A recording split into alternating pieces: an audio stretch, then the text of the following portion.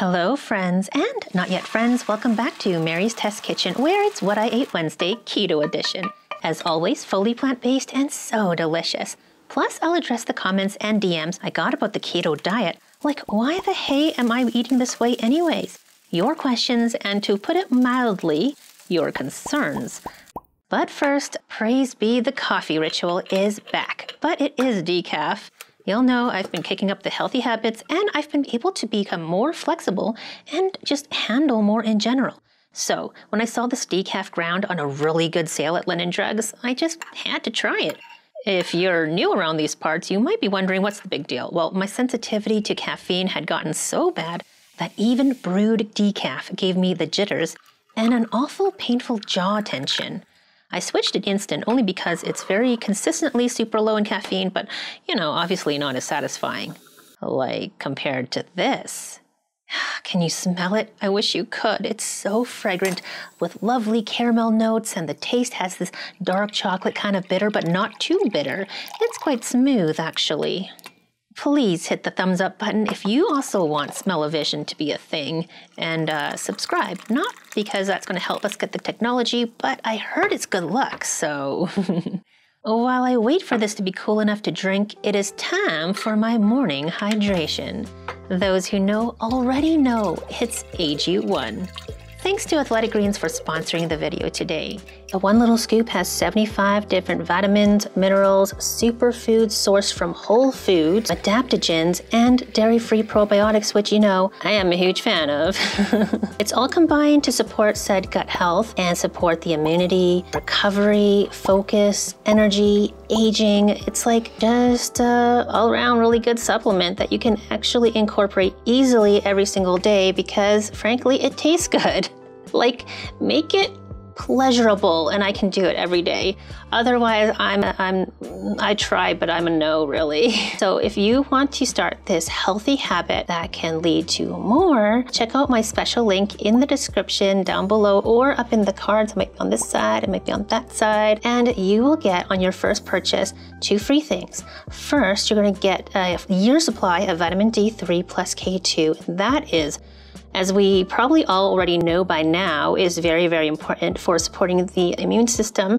And you will also get five free travel packs, which, you know, coming up for the summer is pretty convenient. I will be bringing them with me. I am finally going to uh, visit my parents. It's been way too long. I'm going at the end of this month, beginning of next month. So I'm really, really excited about that. I guess I'm not expecting you to be excited about it. Maybe just be excited for the free things, okay? So while you're over there on their website checking it out, I will tell you my personal experience. I've already told you about how even just like a month on the AG1, I was feeling that my chronic tendonitis symptoms have been improved, like my baseline, especially in the morning first thing, because usually I do have like a baseline pain. It is a lot better uh, since I started taking AG1. So obviously there's some sort of nutritional gap that I was not being able to fill with my regular diet. Although ideally we do want to get our nutrients from food, but we don't live in an ideal world. So um, either way, I love to be covered with my AG1. It makes me feel better overall. I feel like my energy is up the last three months. I'm able to, you know, do the work I want to do and care for the people and pets I want to care for and do the hobbies I've been doing. Maybe some of you have seen it on my second channel. I'm really late on updating all the progress, but things have been going really well. I'm very surprised and impressed with myself, to be honest because like I'm not a very sporty person.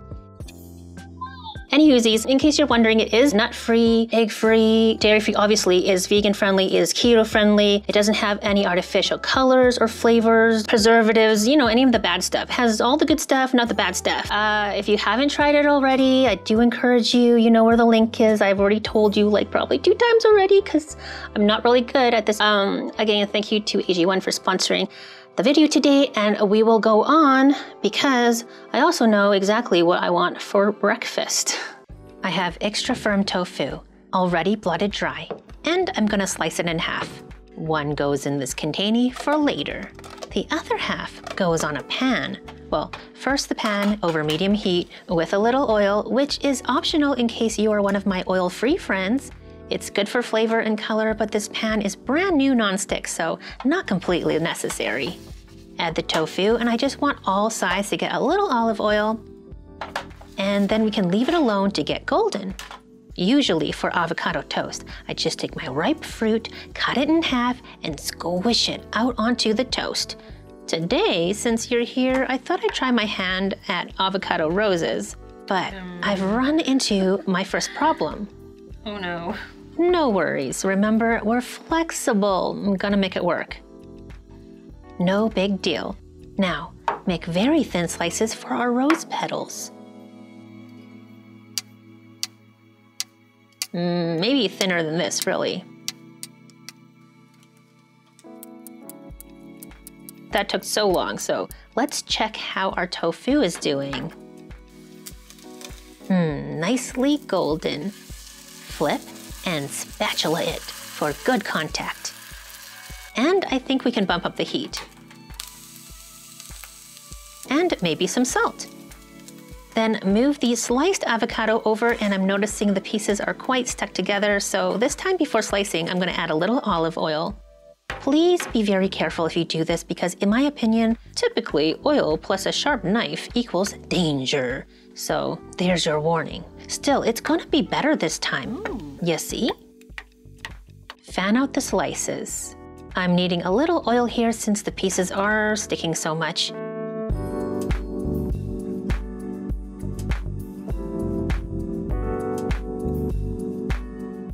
And now for the bravery test.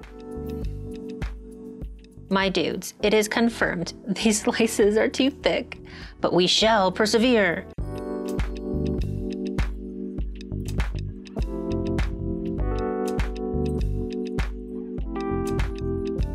Come on, that is not too bad for a first try, right? Now, for attempt number two. This one with the thinner slices, it's much more flexible and much easier to work with.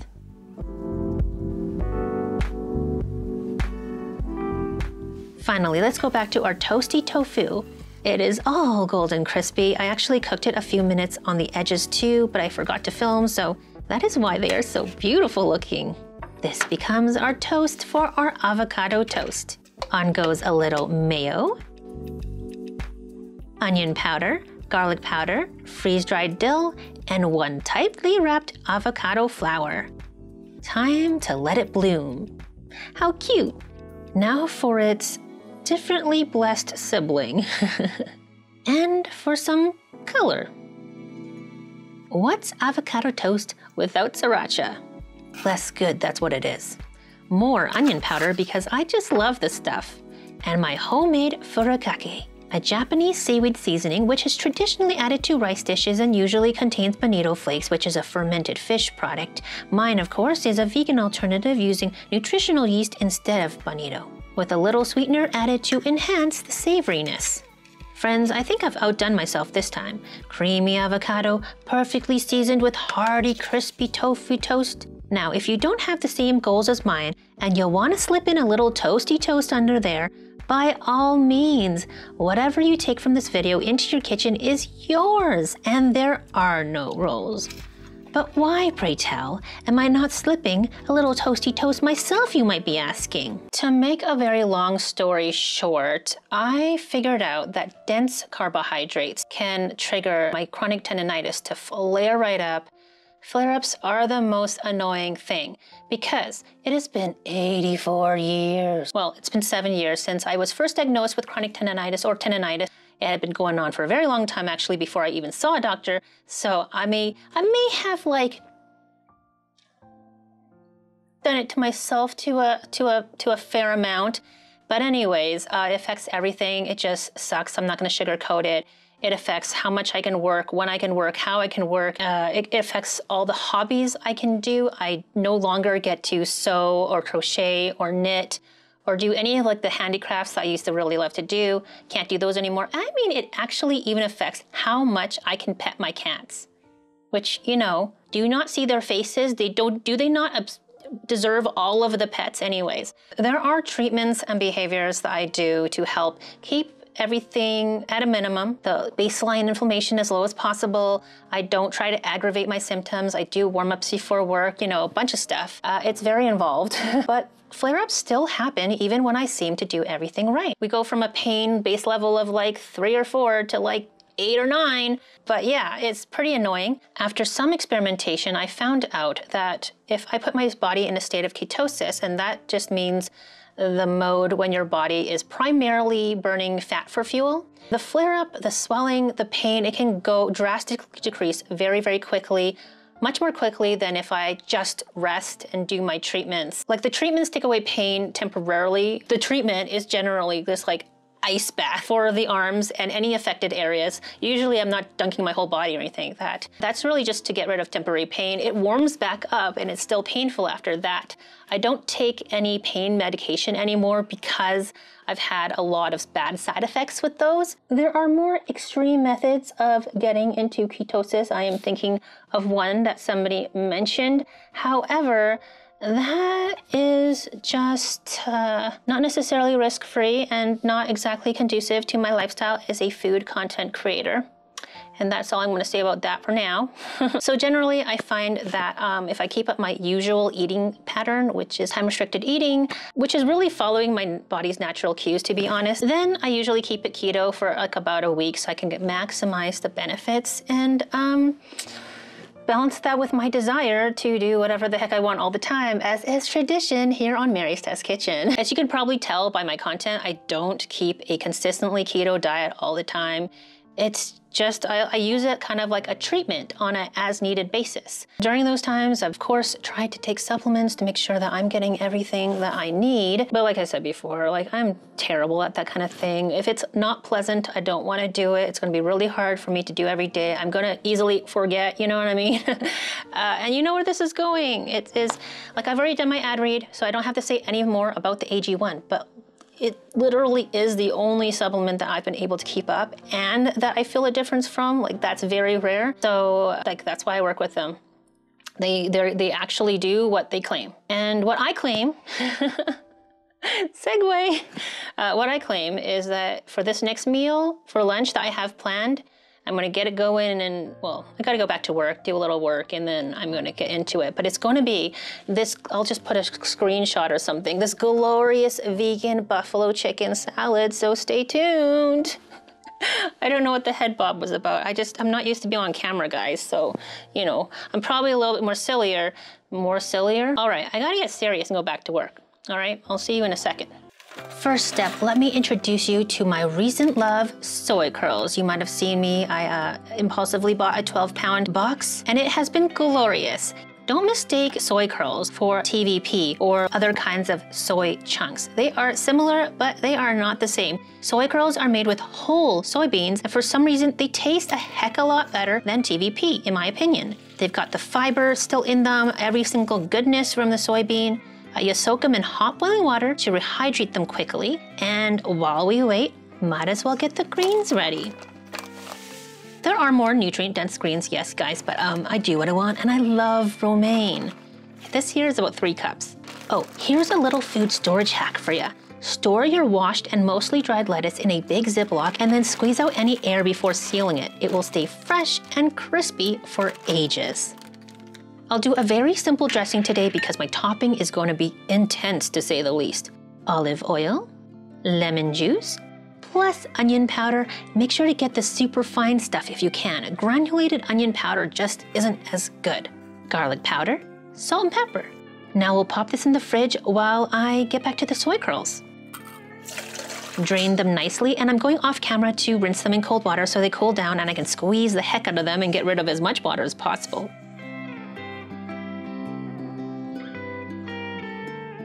Look how chickeny they are, tender with a good bite to them and ready to take on any seasonings.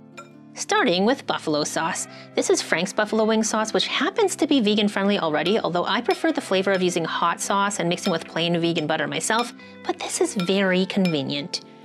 Then a fresh clove of garlic. A regular little clove will do, but I am not mad at this garlic for giants. More of my beloved very powdery onion powder, then salt. At this point, we interrupt the seasoning a moment to preheat the air fryer. by the way. You can certainly do this in the oven, it just takes a bit longer. I almost forgot a little nooch for that savory Lipton chicken noodle kind of flavor. By the way, since soy curls are already fully cooked, you can taste and adjust the flavor right now. Just keep in mind the flavor will be more concentrated after air frying or baking. Now we can dump our saucy soy curls into the air fryer basket. Spread things out a bit and this goes in the air fryer at 400 degrees Fahrenheit for about mm, 8 to 10 minutes, however long you, you know, like or have patience for. No waiting around for me though, let's make some toppings. Chop some fresh green onions. And make a quick little cheese sauce. You can always do some aquafaba mozzarella from scratch or other kind of homemade cheese sauce, but this is just really, really easy and convenient for lunch. One more step because I decided I did want the buttery flavor of Miyoko's after all. And the soy curls are ready. Browned around the edges, mm, just wonderful. They aren't crispy though, despite how they look. They're more like meaty, chewy, and uh, you can just mix it up with the melting vegan butter. And a little monk fruit and erythritol sweetener to balance the spice. After mixing, you can taste it. Then on to our fresh and crispy lettuce, melted cheese sauce, dried parsley, and fresh green onions. It's so good. I eat like a variation of this almost every day. Sometimes I change up the spices. Sometimes it's a lemon Greek style soy curl plus add some peppers, onions, and olives. Sometimes it's a Chinese five spice style porky flavored kind of thing. I have not applied my vegan shawarma treatment to it yet, but I will soon, and I bet it will be good. But for now, I will just enjoy this glorious buffalo mozzarella soy curl salad and address a couple of the comments. Well, uh, actually, I got a lot of people saying that keto is straight up dangerous. True, it could probably be, especially for people who experience tendencies to treat food restrictions in a, unhealthy direction. Any kind of restrictive eating pattern can lead to more restrictive, more restriction in a very negative direction. A lot of people say that about veganism, actually, and statistically is actually true. So proceed with caution. This is not a prescription. like what I eat in a day videos are never uh, what I'm telling you to eat. Well, sometimes I do. Sometimes like I, I make a really good thing and I'm like, you should try it. But you're supposed to take whatever I make, the idea of it, and then do whatever the heck you want with it for it to fit your life, your goals, your ma- your macros, or I don't know, I guess whatever you want to do, because there are no rules. Like like I mentioned before, it is a tool. Tools are meant to be used in certain ways. Misusing a tool can be dangerous. Oops, I just dropped one on my foot. Five second rule? No.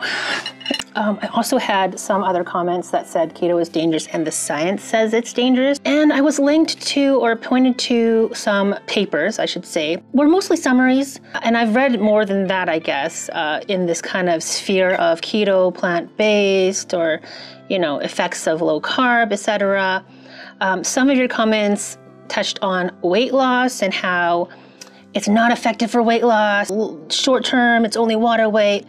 Frankly, I don't care about weight loss. This is not what this channel is about. So I have nothing to say about that. One of the papers in particular brought up that keto diets show increased LDL, increased bad cholesterol, not enough fiber, not enough micronutrients that could be possibly associated with like poor health outcomes. You see how I'm doing it? Those studies don't seem to apply to plant-based keto. There are, I've looked for studies on plant-based keto, like I, I'm not seeing any that focus on what I want to, you know, use it for, and for long term, either they're just not. I guess it's just like a too new of an approach. Correct me if I'm wrong, but I just don't see the risk of it versus a meat based keto diet, right? Um, and my opinion on whether a meat based keto diet is dangerous or not Leave me out of it. I have no interest. I'm just doing this so that whenever my pain, like my baseline pain, seems to creep up or I get a major flare up, I put myself into ketosis.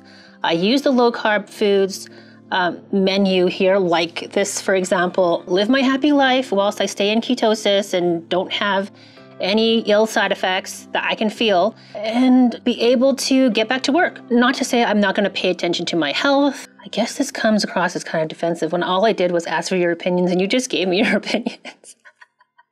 but I do want to share that it, it just seems to me that plant based keto is a lot different than like a meat based keto. And my intentions are a lot different than like the prevailing idea of the only reason why you would do it. My approach to this whole thing too is not like I feel as restrictive as a lot of the content seems to make it seem like it needs to be. And I'll get more into my approach later. For now, I did have some comments. These are lighter comments. um, some people are asking, like, how do you make it taste good? How do you get variety? How do you get enough protein without supplements? Like, hey, I am okay with supplements, actually.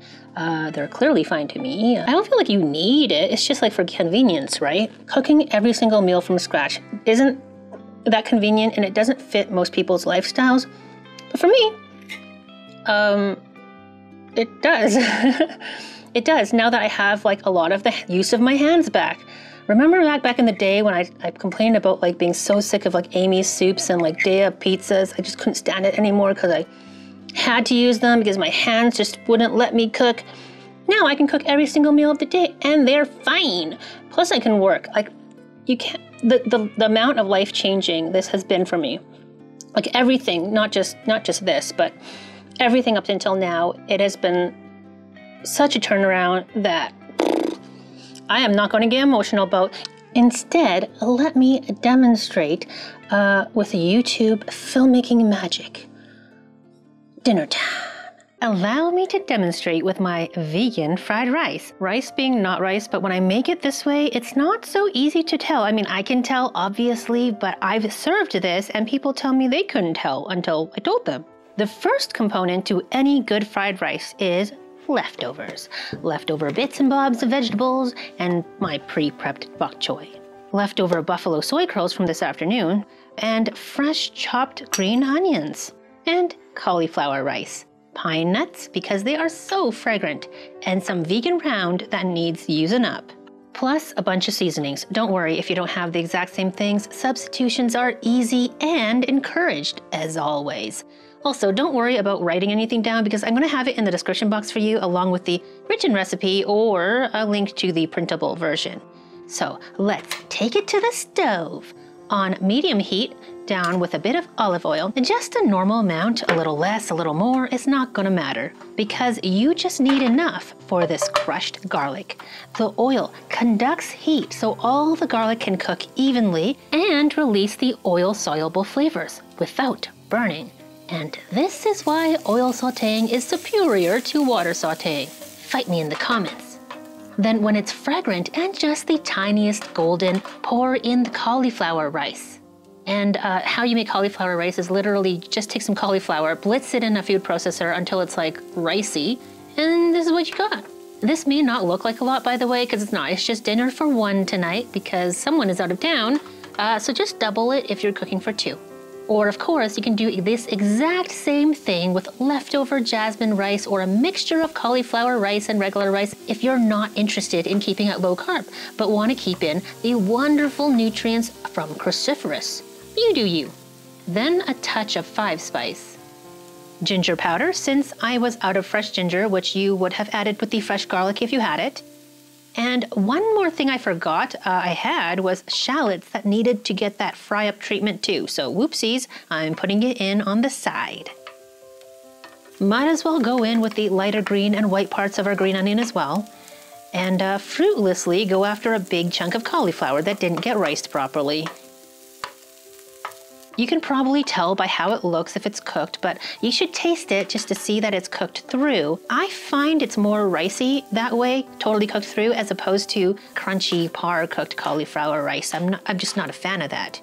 I'll add a touch of salt and my dusty onion powder. Some white pepper is absolutely essential. That is a rule. And of course, this is all to taste. So that's it for our rice for now. We will come back to it later. Now for the protein, no oil necessary for this step since the vegan ground beef I'm using doesn't tend to stick. There are so many kinds now, you can pretty much use whatever you like. And then the leftover soy curls from our salad this afternoon, seasoned with rice vinegar, not the seasoned kind, just the plain rice vinegar, soy sauce, and a bit of sweetener. Again, my favorite kind, which will balance out the salty and sour flavors for a really mouth-watering Asian style taste. Add to that some ground Sichuan peppercorn if you have it, some ginger powder, onion powder yet again, and our meat is done. Once more with olive oil because Just Egg is quite famous for sticking. In with white pepper, and on to join its friends. Now let's get the leftover veggies just lightly cooked. Season with garlic powder. They really don't need a lot. I want them to keep their original flavor. And everything can go back into mix and mingle. Our fried rice is really delicious at this point, but I want to add pine nuts. They really are good as is. You don't have to toast them. However, since you're visiting today and you're my guest, I've got to make them a little bit special. I actually got this idea from visiting a Buddhist Chinese food restaurant in Vancouver called Bo Kong, and they have this pine nut and olive leaf fried rice. And when I had that, wow! If you're in Vancouver and get to try that out, it's so good. And so yeah, that I, this I, this pine nut idea is from them. Lovely. I picked that up from watching Heavenly Fan videos recently. Shout out to her. And also, if you're a fan of Heavenly Fan, let me know in the comments below. Last but not least, we're gonna cook up some garlic bok choy. First with a touch of olive oil again to make sure that garlic can get to its maximum aromatic power, and then the beautiful bok choy. I'm arranging them for maximum contact since a little char does enhance the flavor. A way to get that wok hei kind of flavor without actually getting wok hei. And a little water helps to steam it so it cooks faster. Final touch, a bit of soy sauce. Lid on for mm, half a minute or so, and it's done. Let's lay out the bok choy and garnish with dark green parts of green onion and toasted sesame seeds and some ground red chili flakes and would you look at that? There is so much flavor packed in, a good amount of protein, healthy fat from the pine nuts, but it's not like we're going into extremes. Except for extremely delicious, extremely satisfying, extremely colorful. It's mostly just normal cooking, but I switch out the traditional rice for cauliflower, which is packed with even more fiber and has its own special benefits too. It's like pretty much how I approach things when switching my regular way of eating to low carb. Just make some simple switches, small adaptations, keep it fun and delicious. Don't stress too much. Have some tea, maybe later, and relax. And a Brazil nut for that selenium. So I am going to start talking numbers soon, but spoiler alert, I haven't found that paying attention to numbers to be super important at all. One last thank you to Athletic Greens for sponsoring this. If you are interested in trying out AG1, click my special link below and on your first purchase you're to get five free travel packs and your year's supply, up to a year's supply of vitamin D3 drops. And with that, let's get into numbers. But first, a caveat if numbers concerning things like calories and macros are not a healthy thing for you to be watching or, or listening to me talk about, then Bye for now. I hope you enjoyed the video. Take the recipe ideas and do with it what you would like. For the rest of you, if you're interested, I think the most interesting thing about the numbers is that I don't stick to the strict keto macros. And what that means is like if you go online and you're like, oh, what's the keto diet about? What are the macros for keto? It always says something to the effect of 70 to 80% of your calories from fat. But for me, a keto diet is just the diet that keeps me in ketosis. Either it helps me get there or it keeps me there. One thing that I will say is, uh, I think I mentioned it before that I do intermittent fasting and that actually will help you just because there's more time in between your meals and therefore during that time you are burning up your glycogen. Say if you're going from like a regular state to the ketosis state, it's faster if you intermittent fast, I guess. But also it's faster if you kind of well, I shouldn't say faster. I think for me, it's beneficial to go into it slowly. I kind of once I once I figured out this tool, I kind of kept it a little bit on the low carb side, and I am mindful when I have dense carbohydrates. Like I know what the consequences are, and so therefore, I'll try to make sure my other meals have lots of non-starchy carbs instead of the starchier ones. So it kind of all balances out and I kind of stay on the lower side even if I'm not in ketosis so that when I feel like there's a flare up and I need to or I have a big editing job coming up and I just know the stress is also going to like add to the possibility of a flare up. I'll keep it low carb, say. So just that out of the way. I'll get into the numbers now, but like I said, my numbers, like my macros here, I'll go get into right away. Fat today is at 63%. Now, mind you, with Cronometer, everything is actually kind of an estimate. I did weigh out my food uh, whenever I could beforehand. The olive oil, I think I maybe have gone a little bit over than what I have recorded. Um, but so generally, without actually trying to add additional fats, like I'm not trying to put in fat bombs here. I'm just kind of naturally eating what I eat and not worry about being low fat because I never actually worry about being low fat, but switching out the dense carbohydrates such as bread and you know me, I usually, if I'm gonna eat bread, it's gonna be white bread. If, if, it's gonna be pasta, it's gonna be like, you know, regular pasta, not some of the new fandangled pastas that are out right now.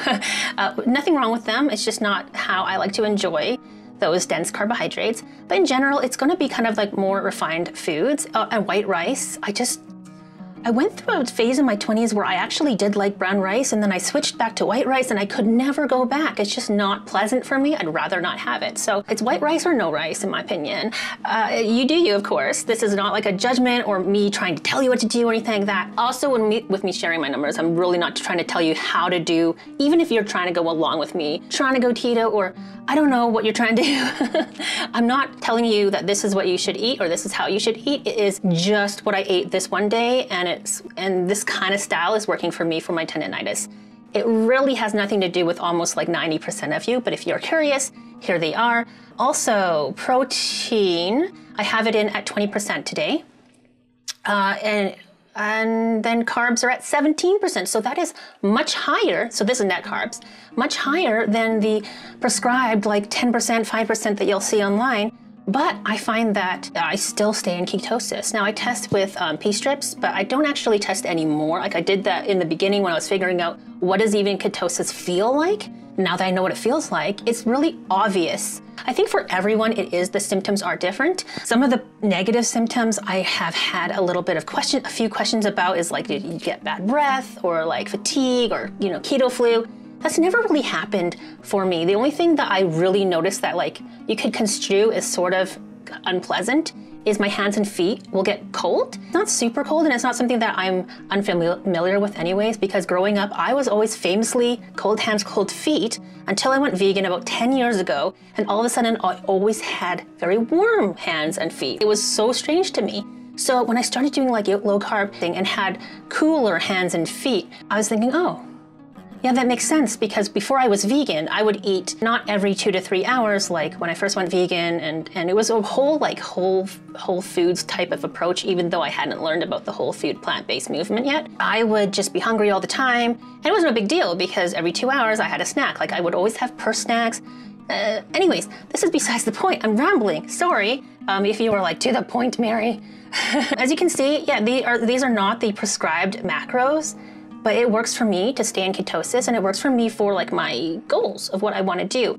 And uh, my calories are at a 13 calorie surplus. But as you can uh, remember, this is very like this is just a guideline, and, and it's not meant to uh, my my maintenance is not your maintenance. Um, same as what is going to keep you in ketosis or get you into ketosis is different from what from me. And some people uh, apparently find it very, very hard to get into ketosis. And even when they do, they don't feel a benefit. They don't feel like clear headed. They don't feel with more energy. Um, so if that's not you, apparently there are genetic differences. Um, and it all comes down to like, I just actually read about this and it has to do with mitochondria, but I don't remember. Um, so I'm not going to say anything more about that since I don't really remember. I didn't take notes. Thing. Okay, so let's get back down to micronutrients, which are like what people are more concerned about, I think. So vitamins, like this is including all the food, including my supplement for today, the AG1 plus the vitamin D3 and K did I put the drops in? Yes, I did. Okay. Um, and so you can see that all of my vitamins that Cronometer has here are covered, or more than. In terms of minerals, we're all covered. It, telling me I'm having too much salt, salt, but I don't think I added very much salt. And oh, here. The salt is coming from Frank's soy sauce, the Gardein. Yeah, you know what? No big deal. I'm not worried about it, to be honest. I'm not. I never worry about it. Iron, magnesium, no, phosphorus, potassium. I'm not actually worried about this. Cronometer doesn't actually take into account some of the nutrients from some of the foods. The data sets are not 100% complete. So I know actually that I do have enough magnesium for this day according to their recommended amount of magnesium. I'm pretty sure it's the same with the phosphorus and potassium. And then, so here, protein, I'm a little bit less than usual today. I didn't have any protein powder. Um, I didn't necessarily want to emphasize protein all that much. I actually only put in as much as either what I have in the fridge or what I care to eat. And so I think it all evens out the end. And it kind of, the other thing is you can't really pay attention to all the micro, like the, all the different amino acids here in terms of the accuracy because again, Cronometer does not have a full complete data set for every single ingredient I had today. So this may be off. But if you did want to have it covered, you know, protein powder, why not? Um, they are usually formulated to be a whole complete source of protein and all you need. Anyway, so that those are the numbers. I don't think they're that very, very interesting. The only really interesting thing, maybe, when you're talking about a plant-based diet, is you may have a little bit extra carbs. And I personally find that it's not a big deal. I watched recently, I think it was Healthy Oh, healthy crazy cool? Oh no. I am not actually sure of the username but they posted because like maybe a week of eating keto and they seem to be really concentrated on like the macros the prescribed macros of 10% carbs or i forget how many grams. But anyways i don't think that is actually necessary. I think it's you if you get your body into ketosis and you know what it feels like and you know what foods make up you know help you do that Go toward those, those foods, get enough protein, I suppose, and don't worry about it. Don't worry about packing in extra fat bombs. Don't worry about, oh no, this the red pepper is going to put me five grams over. Like, I don't think it really matters. And if you get kicked, and well, I don't know about you, but if I get kicked out of ketosis for like a little bit a day, if I am in a therapeutic mode and this is like I'm doing it intentionally for a purpose, that I'm actually in pain and I really need to work the next day or something that, I might take an extra walk. Too much exercise, however, gets me injured. So I just, I think it's connected to the tendonitis. It's just, it's one of those things. So anyways, I, I, hope you enjoyed this video. I hope it was not as scary as I think some people had expected. Just based on the opinions and the comments that I got from when I announced I'm gonna do this video, keto, I really didn't expect that so many people would be I did ask for your opinions, and maybe some pe people were just spicy about it and um, just saying their own opinion for themselves, which is totally fine, totally cool. But like, I did have somebody announce that they're unsubscribing, and well, I mean, if this honestly, if this kind of uh, uh, content is, you know, just unhealthy for you to watch at all, I'm happy for you to just like take care of yourself, right? I honestly, genuinely just wish everyone the best. like, anyways, that's it, I guess.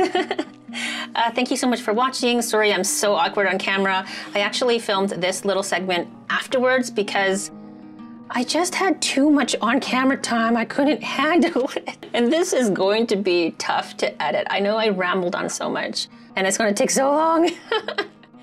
um, all right, I, I hope you have a wonderful day. Thank you so much for watching. Please subscribe if you want to subscribe. It's totally up to you. There are no rules. And uh, give us a like for encouragement. Bye for now.